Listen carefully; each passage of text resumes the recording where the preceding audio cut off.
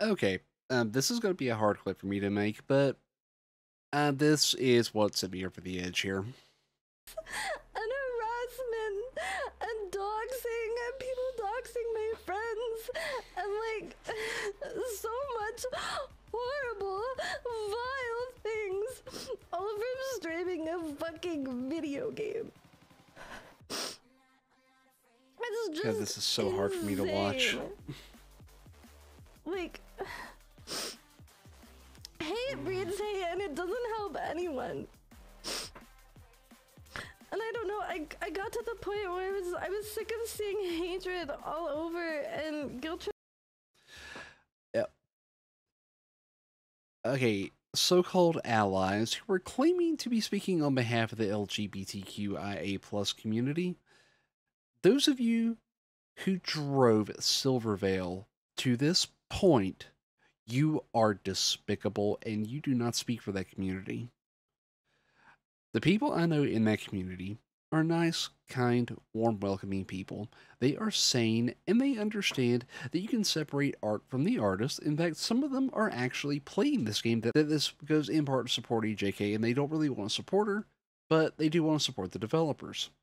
So if they can separate the art from the artist and enjoy it for what it is and not bully people like Silvervale has been bullied in this clip, then why are you bullying people like this? It is not helping anyone, it's not helping your cause.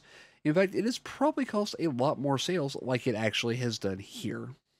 tripping on random art tweets. It's literally like they gang up on so many random tweets about Valentine's Day or art or automated uh, posts. Like they they wanna post so much negativity everywhere, and I just got sick of it. So I block people because I Yep, just I don't wanted her. breathing room.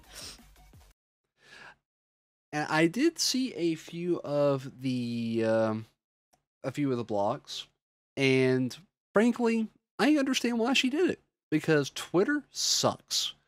A lot of people go to that place for bigotry and hatred and just dogpile on people because they think it's trendy, they want to look cool and edgy. Well, you know what I say to those people who are bullying people like Silvervale? Who are trying to intimidate people like me?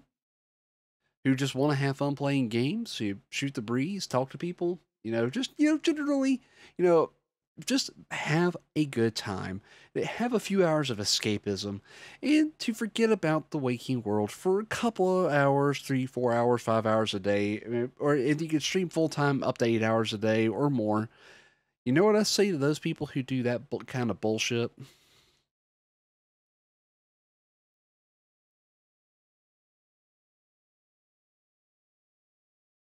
And yes, I am doing this on a recording because you people have just made her another sale because of bullying people like Silvervale. And some of you might be asking, why did I record myself buying that game? Why did I incite that? Well, this is the context why. When I saw this clip, I, or it sent me over that edge. Okay. I love you guys. I'll see you later.